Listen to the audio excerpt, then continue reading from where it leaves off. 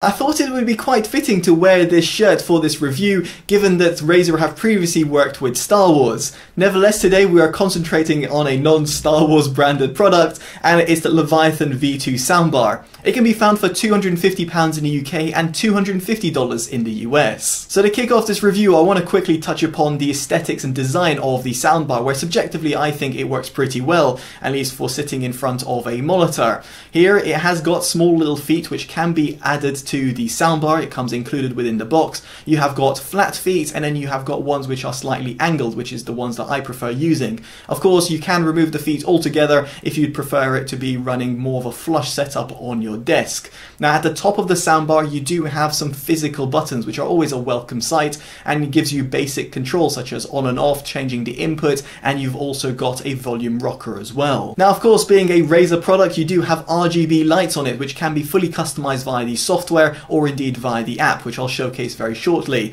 But there's one thing I would like to highlight, and it's something that I noticed upon plugging it in and enabling the brightness at 100%, is that there was a small little whining noise. If you were to reduce the brightness, the whining noise decreases, and of course if you were disabling the RGB lights altogether, then the whining noise completely disappears. In fact, I did a little demo of it, I turned up my microphone to its maximum level input, and I placed it right next to the soundbar for you guys to hear.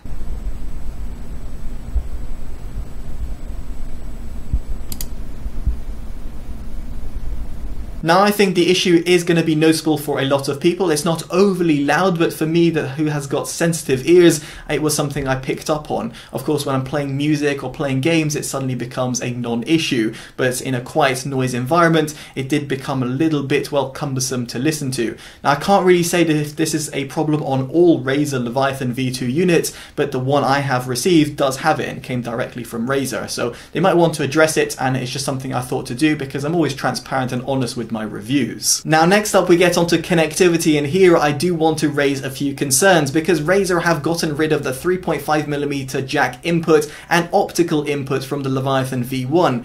Indeed here the Leviathan V2 is limited to Bluetooth and a USB input only. Here it's got a Type-C input and there's a Type-C to Type-A cable provided within the box. It will raise concern over here for certain individuals, although I do think the limited amount of inputs and even outputs that it has is going to be hindrance for some people who are, for example, console gamers. In other words, if you're running this with a TV setup, well, you're not going to be able to actually run it all together because it doesn't have an HDMI nor an optical input.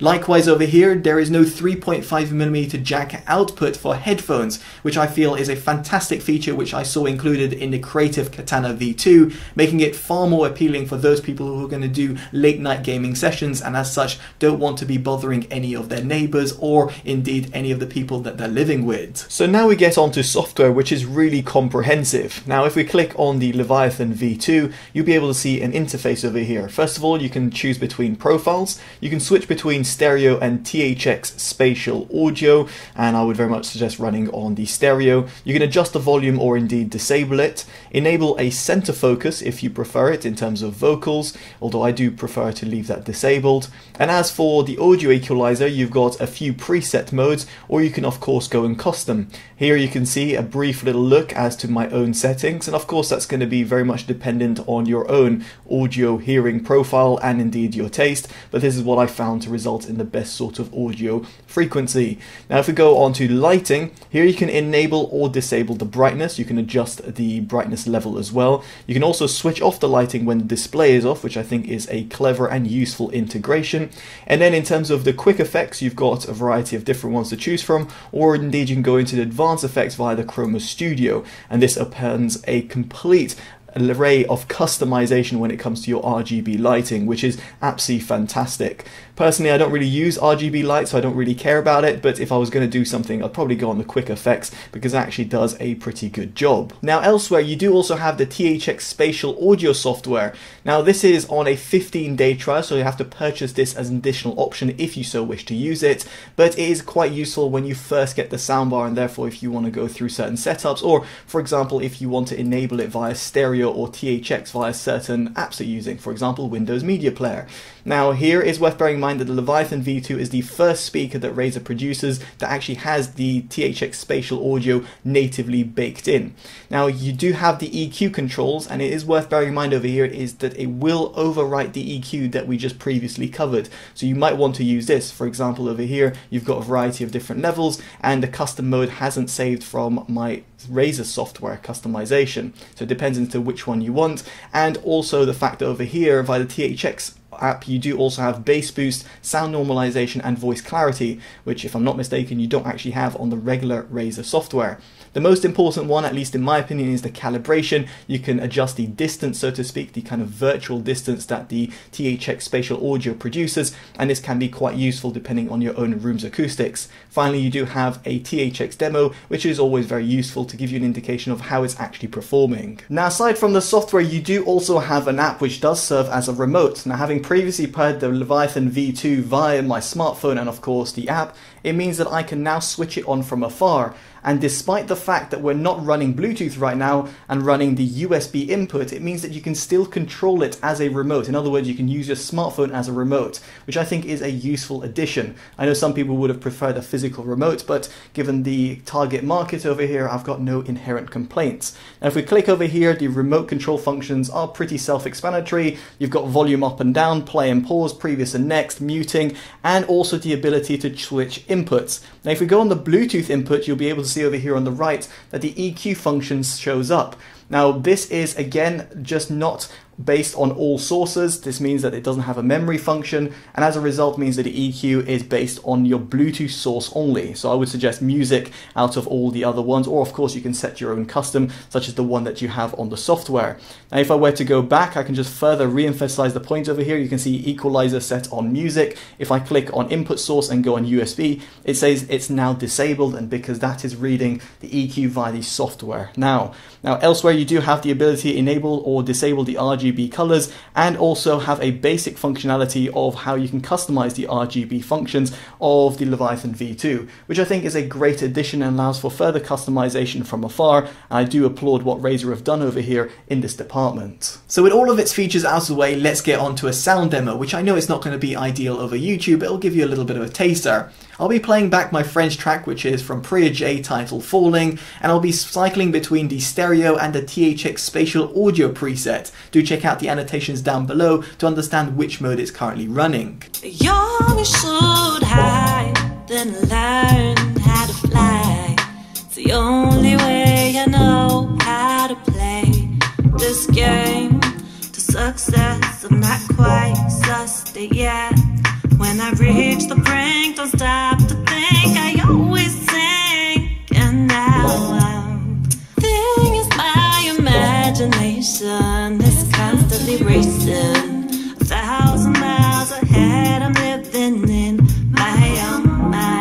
So with the audio demo out of the way that was running over the USB input and thus running 24-bit 48, I should mention the driver configuration. Here you have two front-facing tweeters which have got 0.75 inch in terms of size. You have got then two 2-inch forward-facing full range drivers and then you've also got two rear passive radiators. The combination means that you've got four drivers within the soundbar unit itself and of course the fifth is the subwoofer which is an external device which is passive and it's also got a downward firing 5.5 inch driver.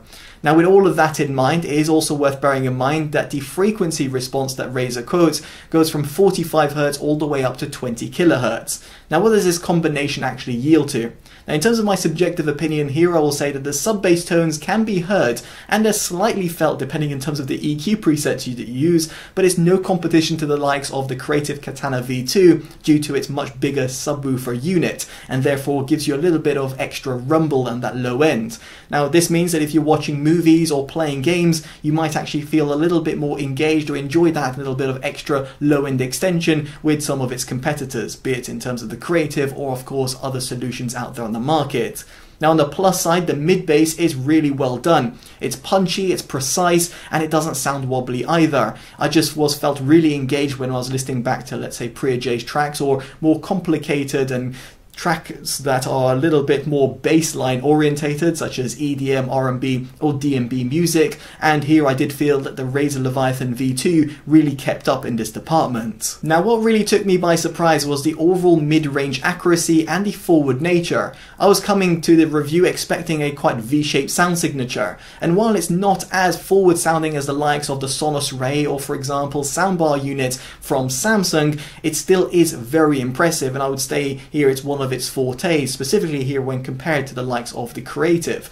Now the soundbar unit does have a little bit of a dip in terms of the lower mids and while you could EQ it you might find that it does reduce the overall accuracy but the upper mids extend really well and they also can be EQ'd extremely well too. So as a result means that you get a real lifelike sound and one that's quite exciting. Be it if you're listening to let's say a podcast or a YouTube video or of course if you're listening back to music, movies or indeed gaming. And as for the highs they extend extremely well at the top end providing you that sort of toe tapping and exciting feeling feeling. But what is more important, more than anything that I've mentioned so far, is the overall soundstage. And of course, gamers will appreciate that sound cues are going to be very much paramount when it comes to using the soundbar.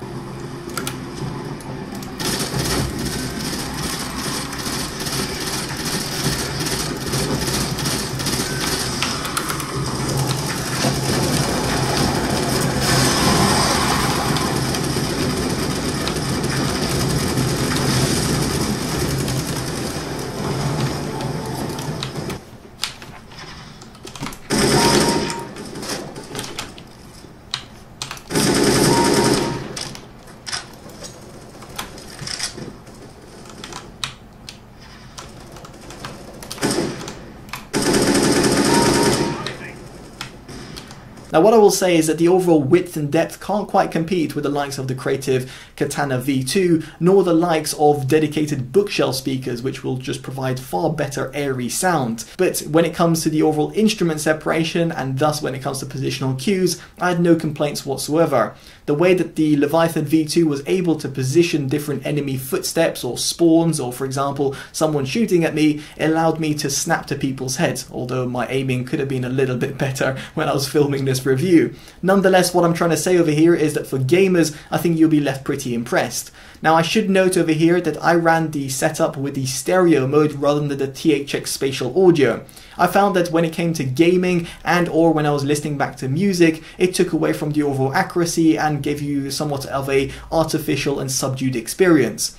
But on the flip side, when I was watching movies, I felt that this THX spatial audio provided a slightly better than heightened experience. So it really depends in terms of your preference and the fact that you do have the ability to switch it on or off depending on the content that you're watching is definitely appreciated. So with all of that in mind, it brings me on to my verdict and quite frankly, the Leviathan V2 is not bad. It offers a good sort of sound signature, it's got great positional cues for gamers, it's got those fancy RGB lights can be customized to the nth degree, has got EQ controls and a really responsive and great functionality in terms of its app. However, they have taken away the 3.5mm jack inputs and optical inputs, which might not be of concern to some people, but then it doesn't have the extra functionality of some of its competitors, whereby it's not got HDMI, nor does it have a 3.5mm jack output either. It also doesn't have a physical remote, which might be of concern to some people who don't want to use a smartphone. Ultimately, what I'm trying to portray over here is that there's some other alternatives that you should consider, and they'll be down description below for your consideration. Now, I'd be intrigued to hear your thoughts of the Leviathan V2, and as to if you are going to be buying it, or if you're thinking about buying it, as to what you make of it. And also, if you like this independent detailed review, definitely do drop a like, subscribe, and hit that bell notification. It really does help continue me delivering honest reviews like this one. And if you've done that already, I just want to give you a virtual high five. Anyway, I've been totally dubbed and I'll hopefully see you in the next one. Take care of yourselves and goodbye.